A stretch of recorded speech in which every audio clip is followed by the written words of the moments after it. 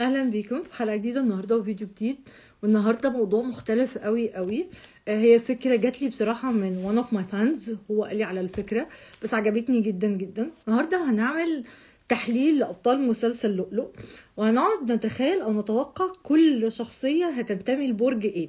طبعا الناس اللي تابعت المسلسل أكيد هم عارفين كل الشخصيات عايزاه كلكم تقولوا لي أنتوا بتشوفوا كل حد شخصيته إيه.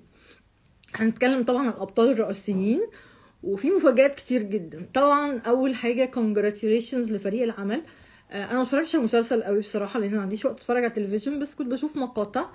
آه، طبعا المسلسل اتعرض لهجوم كتير جدا يعني آه، بس في الآخر هو إنتاج ضخم ويعني congratulations لكل التيم بتاع العمل وإن شاء الله بإذن الله يكون يعني خطوة كده لنجاح أكبر وأكبر. أنا بصراحة one of the biggest fans لمحمد سامي عشان هو عذراء بصراحة. بحس إن عنده فكر كده وعنده طاقة وعنده طريقة معينة وما نقدرش ننكر آه، سواء إن في ناس مثلا بتشوف إن هم عندهم كونسيرز عليه أو لأ بس هو شخص ناجح بيعرف يحط اسمه في مكان صح. حتى لما عمل يعني دايما الأعمال بتاعته أو الشغل بتاعه بيبقى معروف إن هو حاجة ناجحة يعني أو حاجة ليها الصدى بتاعها بيبقى قوي يعني. آه، طيب فبغض النظر بقى عن الناس اللي هي ضد ومهاجمين المسلسل تعرض لهجوم كتير جدا أو الناس اللي هي بت support المسلسل النهارده هنحلل كل الشخصيات بتاعت مسلسل لؤلؤ وهنقول بقى كل شخصية بتنتمي لبرج إيه. عايزاكم كلكم تتوقعوا تحت okay؟ وخاصة آه، شخصية مجدي عشان ده آه، عارفين اللي هو فتى أحلام زي دلوقتي زي حسين فهمي. هو فتى أحلام كل بنات مصر مجدي. وعايزاكم تتخيلوا لؤلؤ برج إيه وتتخيلوا كمان آه، آه، اسمه طارق آه، برج إيه. فقولوا لي بقى كل كل personality أنتوا تتوقعوا هما برج إيه. طبعا قعدت أحلل كتير جدا جدا. الموضوع ما جابش ما جاش هباء. لا أنا قعدت أحلل وقعدت أفكر وقعدت أعمل analytics كتير قوي قوي عشان أقدر أذاكر ال- المقاطع اللي شفتها. طيب خلونا نبتدي. أنا هخلي لؤلؤ للآخر ومروة للآخر فكان دايما لؤلؤ اللي هي البطلة اللي هي مي عمر. congratulations مي. آه، فلؤلؤ وطارق اللي هو أحمد زاهر مجدي هلال اللي هو إدوارد اللي بصراحة يعني تفوق على نفسه. أنا حبيت جدا جدا الأداء بتاع أنا بحب تمثيل أحمد زاهر أصلا وإدوارد كان رائع بصراحة. آه بقى هنقول بقى شرنوبي وكل الناس برج إيه. طيب خلونا نبتدي بطارق. طارق هو برج يا جماعة بس أنتوا قولوا لي برج إيه؟ يعني أنا عايزاكم تتوقعوا بجد. وخاصة الناس اللي كانت متابعة المسلسل. أنا عارفة إن ممكن ناس كتير ما كانتش متابعة المسلسل آه بس هو مسلسل عامل نسبة نسبة مشاهدة عالية. شيء قبلنا قبلنا هو عامل نسبة مشاهدة عالية جدا. طارق برج السرطان. وهقول لي برج السرطان عشان طارق كانت شخصيته دايما هو الشخصية ال- الطيبة. يعني هو كده كده طيب. يعني آه طارق اللي هو كان حنين كان جدع مع لؤلؤ جدا. أخدها مثلا مش تنك هو مش شخص مغرور.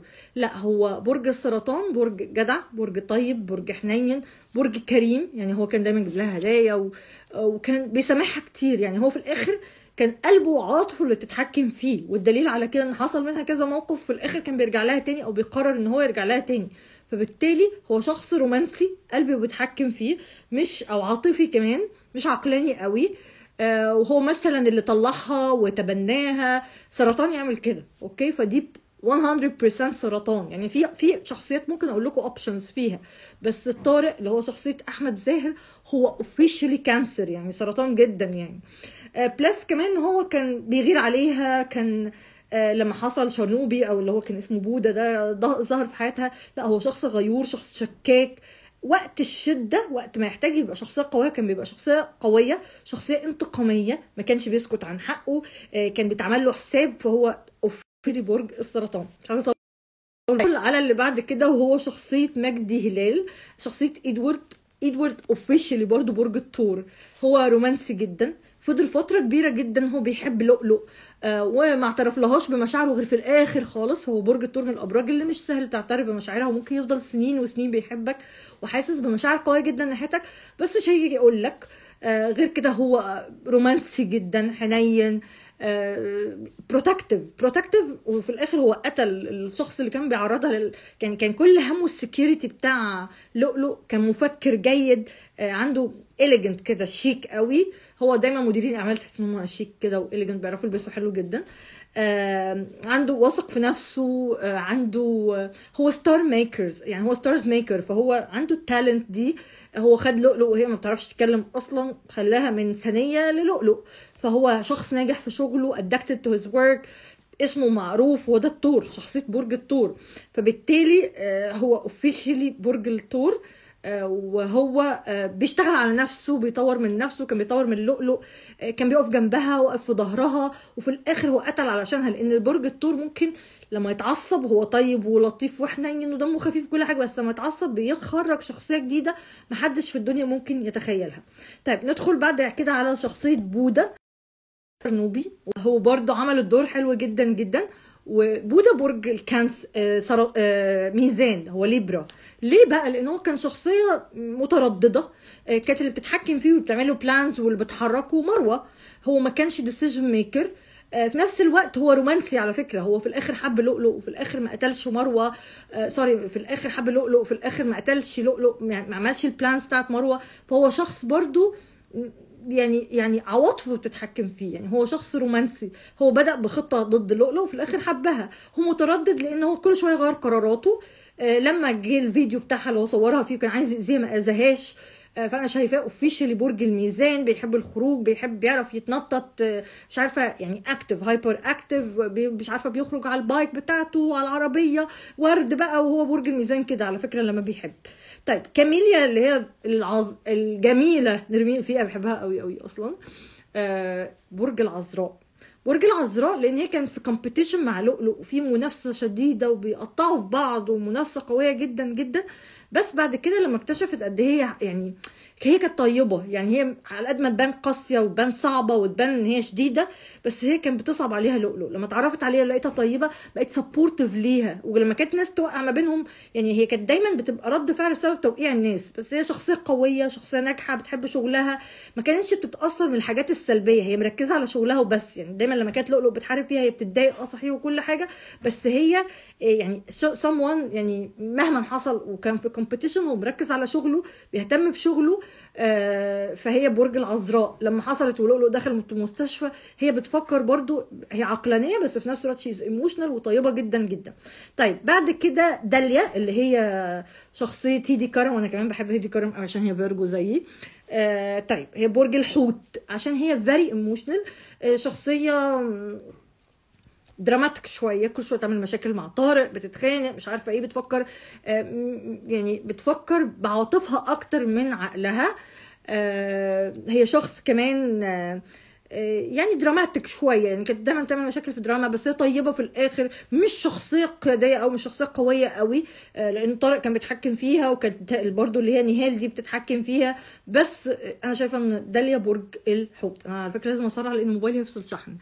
نهال اللي هي شخصية نهال اللي هي شخصية نهال برج الجدي أنا نسيت أنا مش عارفة إزاي اسمه ده بحبها جدا أصلا. نهال برج الجدي لأن هي برضو بالرغم من إن طارق ضحك عليها واستغلها وحصل ما بينهم وخلفت منه بس في الآخر هي مركزة على إن هو بيجيب لها دخل مركزة على شغلها. ما سابتش الشغل معاه. أنا شايفة جدي جدي هو أهم حاجة عندي شغلي وأهم حاجة عندي. هو عملي جدا جدا مش ايموشنال بالرغم من كل اللي حصل من طارق الا ان هي كملت معاه وفضلت معاه وفضلت بتشتغل معاه. طيب أم اللؤلؤ اللي هي الفنانة سلوى الفنانة سلوى عثمان. أنا شايفة إن هي سرطان. she is very emotional عاطفية جدا شخصية. وشايفة إن هي بتحس عندها حساسيه دايما الناس اللي عندهم حساسيه بشوف إن هم Cancer يعني. طيب أبو لؤلؤ أنا شايفة إن هو جوزاء. هو أهم حاجة عنده مادي شوية مش مش emotional أهم حاجة عنده عنده الفلوس هو عملي مش يعني مش سهل إن أنت تأثر عليه بال يعني هو يعني أهم حاجة عنده إن هو يعمل فلوس. أنا شايفة إن هو شخصيته الجوزاء وخلاص ما حدش يتخانق معاه. بصوا يا جماعة اللي هو مهران اللي هو اسمه كوكس عشان بحبه قوي. لما كان بيعمل لها عمل لها الأغنية بتاعت لما دخلها الاستوديو قعدت تغني الأغنية هو اسمه كوكس. كوكس ده برج القوس. يعني هو عملي ولطيف ولما طارق جه خد ال contract بتاعها منه كان لطيف جدا و easy moves وكده وخد فلوس وقال أنا متراضي وانت رايحة لأحسن واحد في الدنيا. اللي هو كده سلس flexible كده والدنيا معاه خد ودي. هو كوكس اسمه محمد مهران أعتقد. آه، فأنا شايفة إن هو كمان برج القوس. طب نيجي بقى للخلاص بقى ال big hunts بقى. مين مروة برج العقرب. برج العقرب لأن برج العقرب هي كانت لطيفة مع لؤلؤ وظريفة وحلوة وقريبة منها. بس once إن مصلحتها جت انتقمت يعني ليها بقت شخصية انتقامية. فالعقرب هو أكتر شخصية انتقامية فبالتالي شايفة إن مروة officially برج العقرب. لؤلؤ بقى تخيلوا دلوقتي قولوا لي لؤلؤ هي برج إيه؟ أنا لازم أجري بسرعة عشان موبايلي هيوصل شحن. لؤلؤ officially كمان من غير أي تردد هي برج الحمل. حمل لأن هي شخصية لما كانت سنية شخصية قوية شخصية آه ليها ردود أفعال سريعة متهورة شوية عصبية بتضرب بتتخانق بتزعق بت فهي أنا شايفة إن لؤلؤ اوفيشلي آه برج الحمل. آه، عصبية آه، انتقامية ما تسكتش عن حقها بترد على طول. مش عارفة مرة ضربت ضربت يعني هي متهورة آه، متسرعة. في نفس الوقت هي رومانسية في نفس الوقت هي حنينة في نفس الوقت جدعة في نفس الوقت آه، صاحبة يعني اللي بي... هو برج الحمل برج جدع على فكرة. قلبها طيب في الآخر بس هي ما تسكتش عن حقها وانتقامية. ومتسرعة ومتهورة.